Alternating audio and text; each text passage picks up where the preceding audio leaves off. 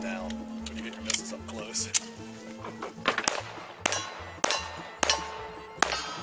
Catch it.